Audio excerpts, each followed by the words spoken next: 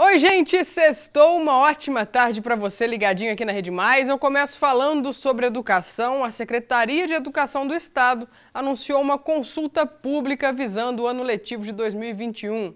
E essa consulta já está disponível no site da Secretaria e nas escolas da rede estadual. Ela é direcionada a pais, alunos, professores e gestores dos colégios. De acordo com a Secretaria, serão colhidas sugestões que vão ajudar na construção do modelo de ensino ensino que será adotado no ano que vem. A secretária de Estado de Educação, Júlia Santana, disse que por enquanto as aulas vão continuar de forma remota, mas o retorno presencial já é planejado. A ideia é seguir um modelo híbrido com rodízio de estudantes, mas não há previsão ainda e isso pode mudar justamente por causa da consulta pública. A consulta ficará disponível até o dia 15 de janeiro no site que aparece agora aqui embaixo na sua telinha. E quem não tiver acesso à internet pode preencher o formulário em uma escola estadual. Lembrando que qualquer pessoa pode participar, tá bom? Olha, mais tarde eu volto com mais informações para você, então continue com a gente. Tchau!